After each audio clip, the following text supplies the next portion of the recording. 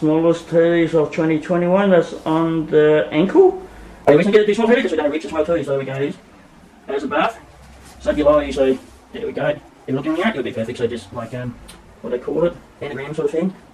So if you don't want to read a tattoo, just headstand and you should be fine. Is that right, Jay? That'd be cool. Perfect. Got that. And got that too. Okay, now fee on the ankle. Then we goes up. Up slowly and her ribs. There you go, as a bath, so below, so she done really, really well.